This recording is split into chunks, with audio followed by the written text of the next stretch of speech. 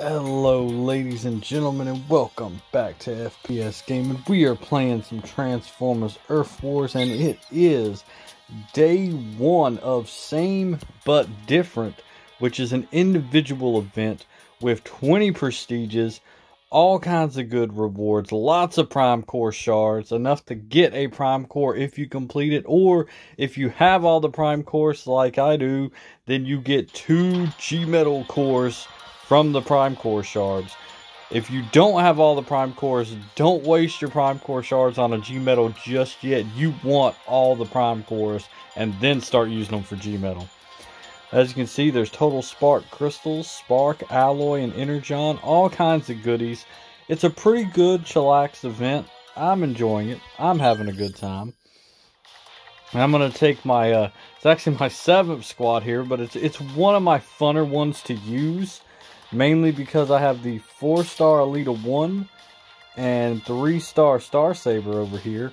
I like using them in tandem, and I know what you're thinking. You're saying it's crazy. Their abilities are both way too expensive to use in tandem, but if you do it just right, it can work. I do wish I had a 4-star Star Saber. He would be a lot more uh, powerful, but so far all I got is the 3 but uh, yeah, I'll show you how I use these two together. Um, this base is interesting. Okay, so normally what I will do is I will launch Elita 1. I'm probably going to launch her somewhere in this vicinity. And then from there, I'm going to launch her right here. And I should have enough ability points to launch her right at the HQ and then the second Star Saber is in range of using his ability to get to the HQ. He's using his ability to go straight to the HQ to help her. And it is expensive. It does use all your ability points. But I'm telling you, it is totally worth it.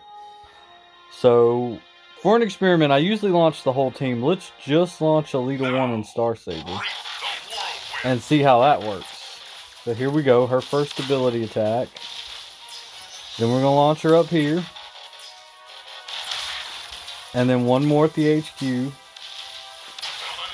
And now it's just a matter of Star Saber getting in range. And I don't think he will without the help of the other bots.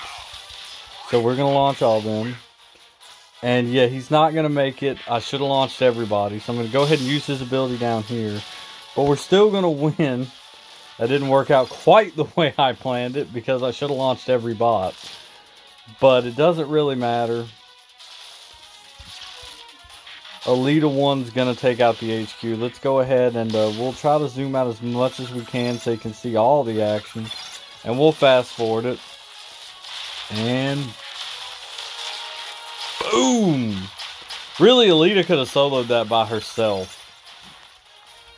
And if I had a four-star Star Saber, he probably would have lasted long enough to get where I wanted him to. So, what became a lesson in how to use them in tandem became a lesson in why you really need a four-star Star Saber for certain bases on 12. But it's all good. We won the battle. So, yeah. So, launch every bot from now on. Note to self. Or in that case, just launch Elita 1 and let her get all the XP. So as you can see, I'm like one battle away from being through Prestige 4 and onto Prestige 5. So not too shabby. Now let's take a look, see how the Crystal Kraken's coming along. as you can see, we got uh, 12 of the uh, total shard crystals. We got 10 free chips. We got 20 free crystals. We got one premium and we are getting ever closer to Metroplex because I cracked all my VIP crystals. Nothing but dupes. I, I record it in case something special pops up, but it, it usually doesn't. It's usually Dupe City. And those dupes got us 11,373 star shards over halfway to Metroplex. So I'm actually kind of hoping that those total shard crystals this weekend come up three star more than not. We'll see though. It should be interesting. I'm excited for it. But yeah, that is it for my day one video.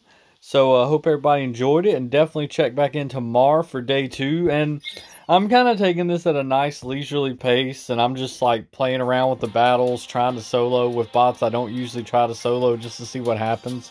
I mean, I still got a team with them that'll beat the battle, but I'm just saying I'm I'm taking it more leisurely. I'm having a little bit of fun with this weekend's event, so I should easily still be able to record a video for Sunday. I shouldn't.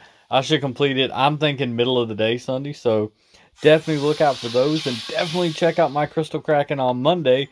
And I will see y'all then. Same bot time, same bot channel. Frankster out.